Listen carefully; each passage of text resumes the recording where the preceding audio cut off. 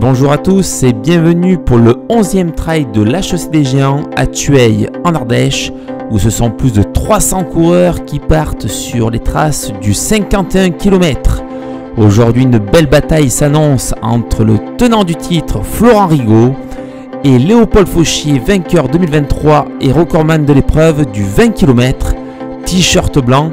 Il est parti très très fort comme on pouvait se l'imaginer jusqu'à Maire les deux hommes vont se livrer une belle bataille. Derrière s'ensuit Jérôme Lassalle, ainsi qu'Adrien Vernet, l'habitué, accompagné de Rémi Muller. Derrière, Tobias Sola essaie de suivre le rythme imposé. Tout le monde s'organise, tant bien que mal, c'est vraiment parti très très fort sur les chapeaux de roue. Chez les filles, c'est notre marraine 2024, Aurélia Truel, qui compte bien faire parler d'elle. Elle est suivie de très très près par Marina Rebolo. Retenez bien ce nom car aujourd'hui elle va nous sortir une grande grande course. Troisième l'an passé, Christelle Vandenbluck est là bien présente aujourd'hui. Elle est partie sur de bonnes bonnes bases pour sortir une belle perf. On va retrouver par la suite Joël Buss, seconde l'an passé, malheureusement cette année va connaître une journée un petit peu plus difficile. La voici à l'écran. Allez, petit clin d'œil à toi Joël. Tout le monde euh, semble bien bien frais ce matin. Il y en a pour tous les goûts pour s'échauffer. Petit clin d'œil. Et derrière les balais s'organisent. Un grand grand merci aux bénévoles. Allez, vous allez voir que la course parfois se joue à pas grand chose. Ici, oui, oui, elle s'est jouée là, je vous la repasse. Florent Rigaud nous fait un ravito en mode express à Maire et se lance dans la grande difficulté de l'épreuve, l'ascension d'Abraham, où il va prendre plus de 4 minutes d'avance sur Léopold Fauchier. Clairement, il faisait pas chaud à Chaumienne, mais il a vraiment climatisé l'épreuve. Derrière, Léopold essaie de s'accrocher pour revenir sur Florent. Direction Jojac pour les deux hommes. On va retrouver ensuite Tobias Sola qui pointe troisième à 2 minutes de Léopold, ainsi que Inti Quengracht qui lui est quatrième à 3 minutes. Jérôme Lassalle lui pointe à 5 minutes de Tobias. Retenez bien, il va nous assurer une belle perf dans ce pierrier où on peut observer vraiment de fantastiques paysages. Les coureurs nous décrivent, ça leur fait souvent penser à la Restonica. Petit clin d'œil à nos amis corses au passage. N'oubliez pas qu'ici, bien entendu, comme indiqué sur le parcours, les talons aiguilles sont interdits. Allez, on va retrouver Adrien Vernet qui en termine justement avec l'ascension d'Abraham. Direction le ravito. Allez, nous voici maintenant sur le 20 km. Une épreuve qui affiche guichet fermé avec 450 inscrits cette année. Et oui, ce en partie grâce au challenge Crédit Agricole, puisque le format long proposait un coureur sur le 51 et un coureur sur le 20, alors que le format court, quant à lui, c'était un coureur sur le 20 et un coureur sur le 10 km. Tous ces coureurs sont partis direction la Gravenne Chacun va monter à son rythme sur la première difficulté du parcours. Vraiment très très nombreux cette année. Allez, il faudra retenir un homme, oui. Ludwig Fernandez du team Innovate et entraîné par Julien Rancon. Déjà deux fois vainqueur ici sur nos terres ardéchoises, compte bien ramener le chrono en Ardèche pour récupérer la belle belle perte de Léopold Fauchier de l'an dernier. Et bien sûr, on le retrouve dès la première ascension de la Gravenne, seul en tête. Derrière, Baptiste Gibert et Jean-Paul Duru vont se livrer une très très belle bataille.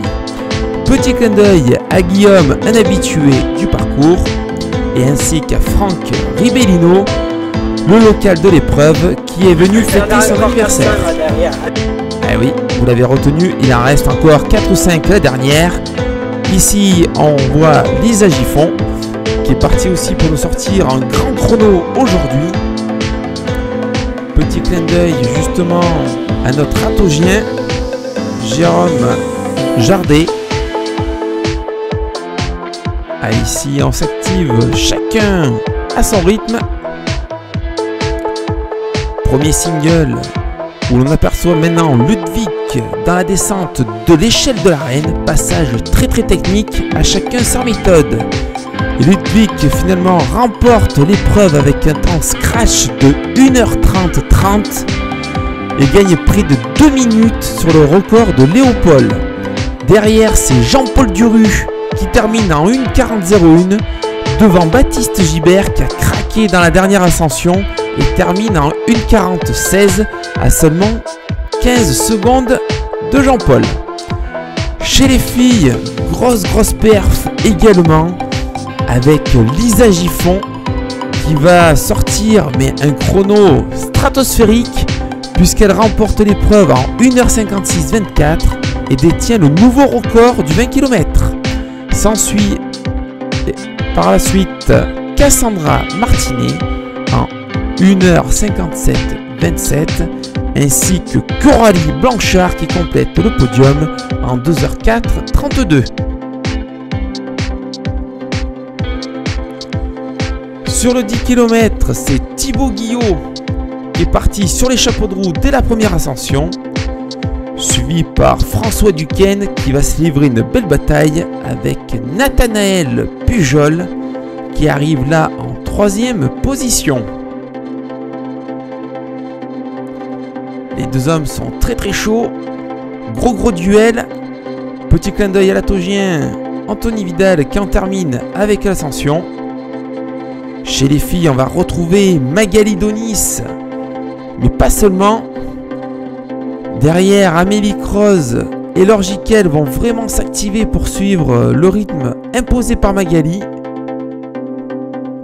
Le peloton s'étire de plus en plus. Quelques sourires avant le sommet. Allez, petit coucou aux filles monte très très fort, ainsi qu'à Cindy Badia, médecin de la manifestation durant toute l'après-midi. Un grand merci à elle pour sa présence. Allez, il y en a pour tout le monde aujourd'hui. Pour les pressés, pour les gens qui sont venus faire une sortie beaucoup plus à leur rythme. Le trade HC des gens est avant tout une épreuve familiale même s'il y a de grosses grosses perfs qui sont sortis sur le 20 km, chacun peut profiter des décors, des paysages. Et pour preuve, cette année, le parcours a été ouvert aux randonneurs sur le 10 km, mais pas que. Également sur le 20 km avec la possibilité de s'arrêter au kilomètre 15. Ce sont près de 200 randonneurs qui sont venus cette année pour cette 11e édition. Une belle réussite pour cette première. Allez, chez les garçons, sans surprise, Thibaut Guillot remporte l'épreuve en 47-24. Mais c'est Nathanaël Pujol qui va terminer derrière en 48-55 devant François Duquesne en 50-03. Chez les filles, c'est Magali Donis qui va confirmer et boucle l'épreuve en 1h03 38 devant Amélie Creuse en 1h05 40 et l'Orgiquel 1h08. Allez, nous voici sur le 51 km à Joujac où Florent Rigaud est parti avec des ailes. Il est passé en 3h41, Léopold s'accroche mais pointe déjà 6 minutes de retard, il a encore perdu 2 minutes par rapport à tout à l'heure. Et Tobias Sola et Jérôme Lassalle, eux, se suivent ils sont à 7 minutes en 3h54. Ils sont à 7 minutes de Léopold, mais ils vont partir vraiment très très fort. Allez, petit geste de fair play entre les coureurs. Toujours une aussi bonne ambiance sur le parcours. Chez les filles, c'est Marina qui va être là en première en 4h33 devant Christelle en 4h46. Donc près de 13 minutes d'avance. Aurélia est troisième en 4h50. Bertille est juste sur les traces d'Aurélia.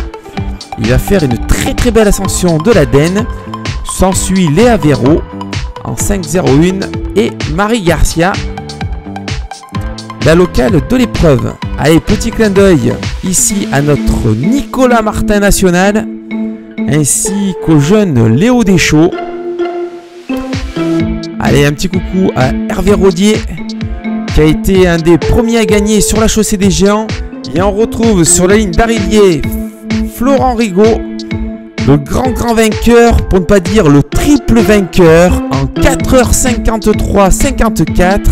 Il améliore son chrono de l'année dernière en 4h58. Un grand bravo à lui. Tobias Sola termine en 5h09-29 devant Jérôme Lassalle. Oui, oui, je dis bien le teigneux Jérôme Lassalle en 5h14-50. Allez, un grand clin d'œil à Léopold Fauchier, un jeune coureur qui a un petit peu accusé le coup dans la dernière bosse. Il a craqué au kilomètre 40 et termine en 5h22. Un jour, ça sera lui le géant de la chaussée, j'en suis convaincu.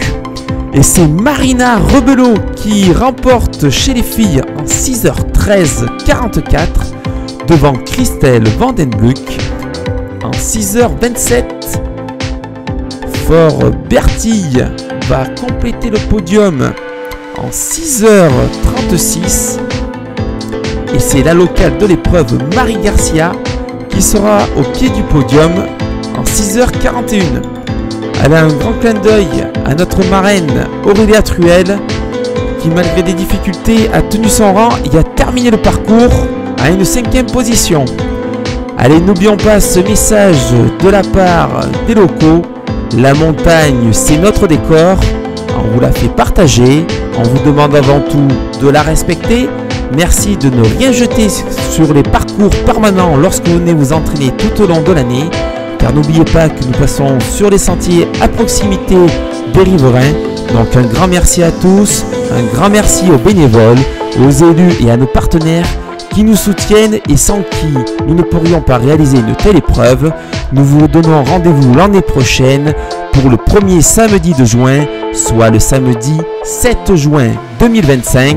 Et n'oubliez pas que la chaussée des géants, c'est hallucinant et c'est avant tout grâce à vous.